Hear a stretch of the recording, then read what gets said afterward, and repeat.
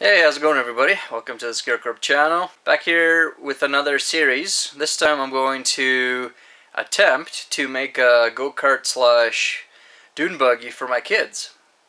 Never done anything like that before, but how hard can it be, right?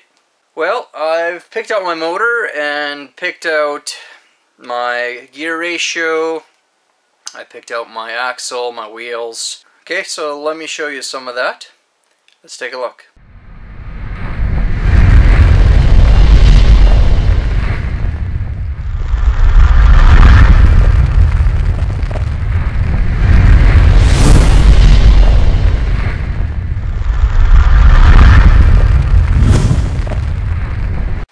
So here's my motor. I went with the Honda Clone 6.5 horsepower. Gives you around 200 cc's. So it's pretty nice motor. This nice thing about it is that it's a it's a 45 angle uh, piston, so these ones are supposed to be a lot nicer. Uh, went with a centrifugal clutch. I went with uh, 10 tooth sprocket, uh, sprocket because I want to gear it down more for torque and less for speed so the kids won't kill themselves on this thing. This thing is a pull start. It's not a electrical start. It's got a nice on and off switch which I'll be more than likely transferring to the to the handlebars. Okay, so the centrifugal clutch, I still need to get a nice bolt here that fits. Uh, this is the right size, but it's the wrong threading, so I just kind of put that on there so, to make it stop from falling off here while I do my measurements and that. I believe this is a 5 16 24 threading. Okay, so here's kind of what I have started for the frame of it. I just started welding the back. so I'm going with 24 by 24 frame back here. So there's my 24 by 24.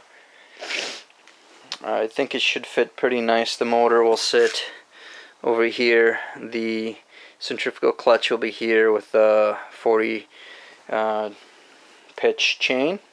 This is a 40 pitch uh, sprocket. It's a 60 uh, tooth, meaning that I'll get my uh, so the the so the clutch is a 10 10 tooth. The the sprocket is the back sprocket is a 60 tooth, so that'll be 1 to 6 ratio. a racing one usually has 1 to 3. Nice torque. Uh, one is 1 to 9, so this is somewhere in the middle. So, so still should be pretty zippy. So I went with a 1 inch axle in the back. It's a 36 inch. It doesn't have any threads in the back here, so I can't put a bolt on here. So once it uh, comes time to, to do this, I'll show you how exactly I'll be planning on doing that. I'm not going to weld it or anything like that. There's a there's a bit of a trick that we can do to make that happen. It's a it's a keyed it's a keyed axle. That means I can put all my uh, so this is my brake. Uh, I think this is a six inch uh, hub or a six inch brake and it's keyed as well so I can I can put my key stock in here and, and lock it. Uh, my my sprocket come came well I had to buy a separate hub for it but it's keyed as well and you have to weld the hub to the sprocket so we'll do that at a later time. Then I have some locking collars here. So lock that stuff so it doesn't go anywhere. Then I went with pillow block bearings these are the blue ones. Uh, you can find them anywhere.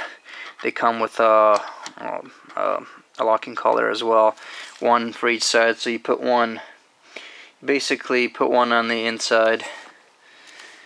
And then you put one on the other side as well on the inside. So it can't go this way because it locks it.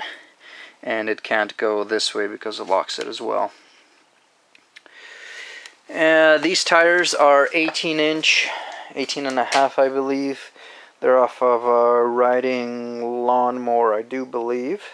Uh, they're kind of on backwards now. I will be flipping them back the other way because this is just a test. So the biggest thing uh, that I have to watch out while I'm building this thing and have to make my measurements very precise is because I'll be carrying this thing around in my little trailer here and this is an 88 inch trailer the long way here so I have to make sure that the wheels and everything fit in it. Well from from the back to the front here that make sure everything fits in, in there because that's how I'll be carrying it around. And if it's two inches too long it's just going to be a pain in the butt to to you know I don't know. I'm just hoping that it'll it'll fit and you know it'll work for me so okay so I just wanted to give you an update this will be a series uh, I'm not sure how many I'll be making of these but I don't want to go into too much detail on every part, so it's not going to be like a 15 part or anything like that. I'm hoping maybe it's going to be around six or so parts. I, I have no idea. I'm not going to be going any of the welding part, building the frame or anything like that. I'll just show you once I'm done, but I will be going over some of the hard stuff that you know that people might have issues with like the the front axle, the, the steering, uh, maybe the brake, the throttle. I went over the back axle already, so just kind of going step by step. Any of the trouble parts that some of us didn't know anything about till you know till we saw videos or read about it. So I did a lot of research, and I'm feeling pretty confident that I can build this thing. You know, it's not too bad. I just go one step at a time. I've never done anything like this. Like I said, I'm just learning as I go. So and I find that usually the best way and I have the most fun doing that so okay I believe that is it for for me if you have any comments questions if you want to see something specific please let me know down below I will be answering all of your questions and comments so if you have any be sure to let me know and then I will get back to you and if you want to see something specific again let me know and I will try to do that for you Please rate this video if you like it. If you don't, I guess that's okay too. If you want to see more of these videos, hit the subscribe button so you'll see them as soon as they come out. And be sure to share this with your friends. Okay, well, uh, that is it for my time. I do thank you for yours. Have a good one. Bye.